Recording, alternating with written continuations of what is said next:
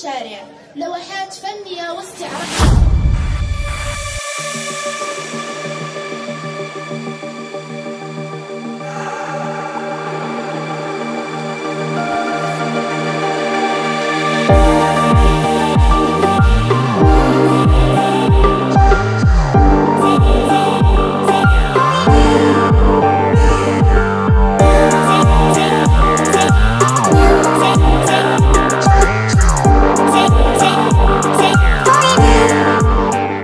السنة الفايته وحنا مصرين على أنه نربطوا آه، تنظيم تظاهرة مهرجان العيون الدولي للفنون الشارع بذكرى مسيرة الخضراء كنوع من الاحتفال كنوع من التعبير على وطنيتنا وعلى تشبثنا بالعرش.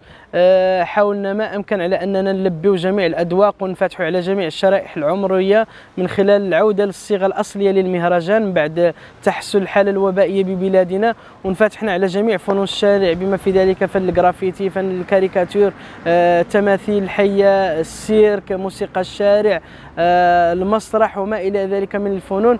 الشيء اللي حقق واحد التجاوب كبير إلا لاحظتوا على الناس متعطشة والناس يعني الرتابة وال يعني الأزمة النفسية والتأثير النفسي ديال جائحة كورونا ألقى بظلاله على على جميع البشرية. الآن في مدينة العيون نشوفوا كاين واحد النوع من المتنفس اللي خلقته هي التظاهرة. كنشوفوا الابتسامة على محيا الناس وهذا هو اللي كنبغوا حنا. بالإضافة على إنه دائما كنحاولوا على أن العيون تبقى دائما قبله الفنانين المغاربة.